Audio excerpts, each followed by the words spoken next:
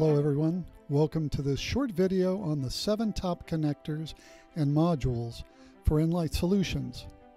Hi, my name is Mark Gaydos, I'm Chief Marketing Officer. Thanks for taking some time to listen to this short video.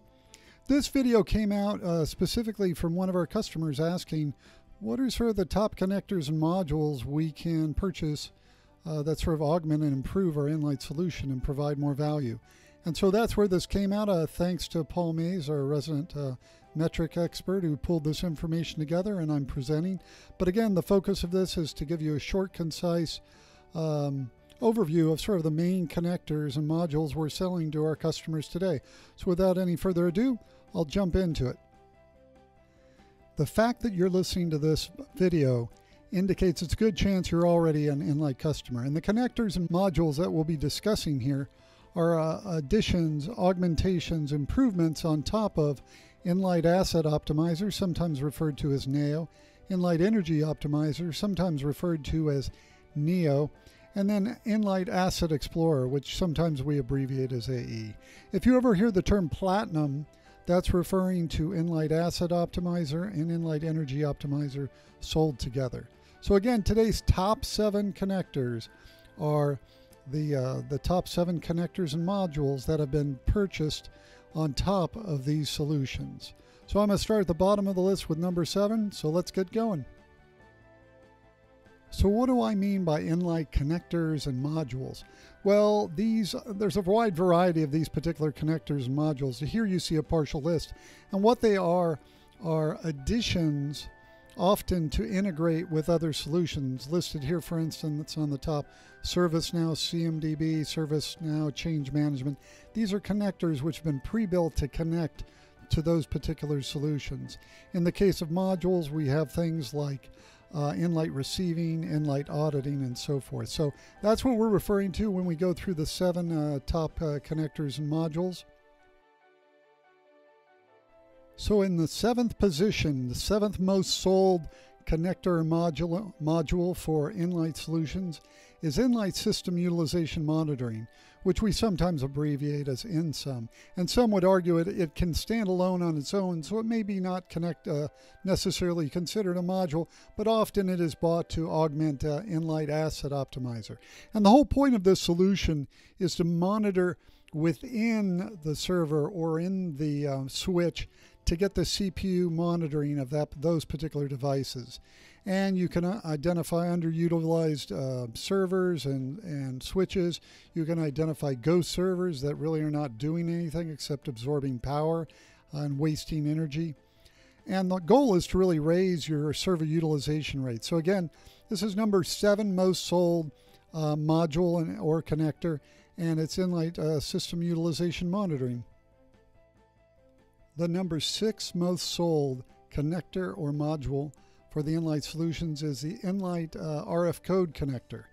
This connector uh, connects to the RF Code Asset Manager. For those who are not familiar, it's an RFID solution. And it shares information between Nlyte Asset Optimizer and RF Code. So if you're tracking those assets using RF Code, you can populate that information automatically inside um, the Nlyte solution and synchronize information back and forth. So again, if you have RF code, you can synchronize that RFID information between the two different systems.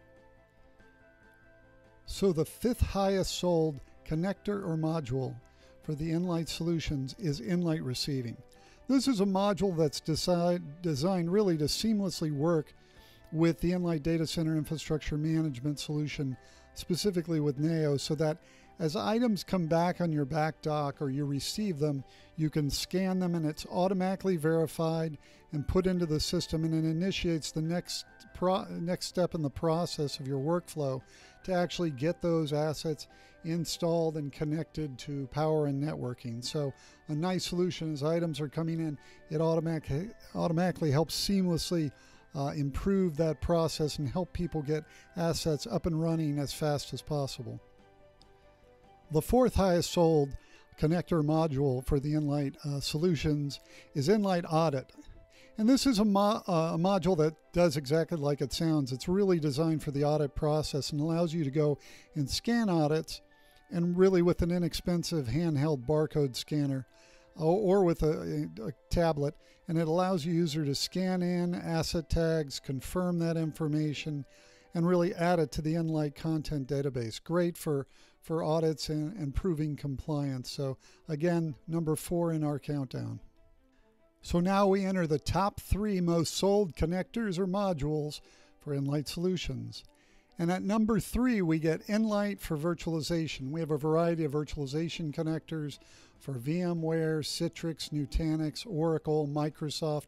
So this is number three. And really, what this is designed to do is a connector into the virtualization hypervisors and capture what's actually running on those physical devices. So this connects you the virtuals to the physicals so you have an idea if you're going to be doing any sort of changes or enhancements or major, major modifications, you can know what's running there and potentially move those assets to uh, move those applications to other assets. Very important to understand what's actually running in those particular virtuals so you can map it again back to the physicals.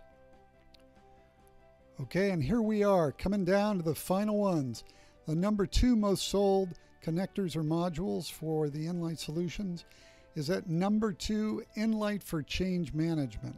And really, this is where you take Nlyte, tie into those change management processes, whether they're with ServiceNow, HP, BMC, Cherwell, Ivanti. And what you're doing is tying into those processes. So if somebody's making changes up in the ITSM system in the change management and they're asking for changes that are down at the physical level, those particular changes, let's say you're adding servers, can be punched down into Nlyte, and then that kicks off the workflow that needs to be performed in order to meet whatever the, the change management uh, system is requested. Then that is being tracked and updated into the change management system, and then when completed, it's closed and it's closed out in the ITSM system. Again, we have a variety of different vendors we support, but this is number two, the number two most sold uh, connector or modules for uh, the Nlyte solution. And for those who are waiting with eager anticipation, the number one sold connector or modules for the Nlyte solutions are Nlyte for CMDB integration. Again, we tie into a variety of different CMDBs, ServiceNow, HP, BMC, and so forth. But this is number one, and this one's pretty straightforward.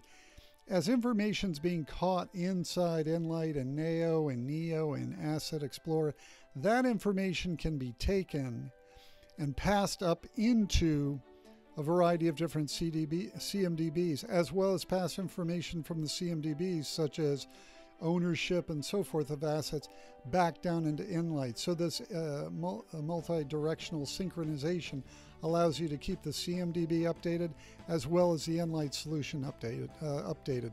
Very, uh, very useful for both sides of the equation to make sure people are dealing with the most accurate, most current information to perform their jobs when they're depending on that CMDB. So, folks, that wraps up our uh, top seven connectors and modules that are sold to augment and improve the Nlyte uh, core solutions. Uh, if you would like further information, feel free to, we, to reach out to info at nlyte.com or come to the nlyte.com page and click on resources. resources. We have a variety of white papers on all these connectors and modules, as well as uh, case studies and videos of people speaking about how they're leveraging those connectors and modules on top of their Nlyte investment. Thanks, and if you need to reach me, I can be reached at mark.gaydos at nlyte.com. Thanks again for listening. We'll see you on our next webinar.